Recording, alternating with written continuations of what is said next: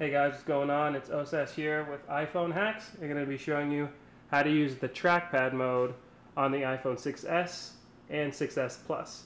So as you can see here, when I do the 3D touch, which is a light tap and then a little push, it'll access the cursor and I can move about my text.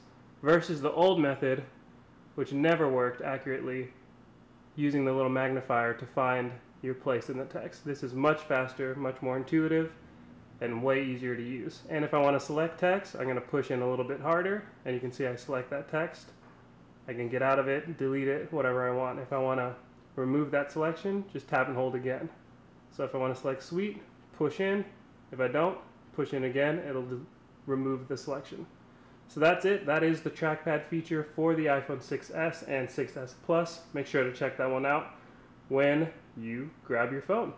Um, if you found this video helpful, make sure to hit that like button and also make sure to subscribe to our channel for more videos just like this. Thanks for watching, guys.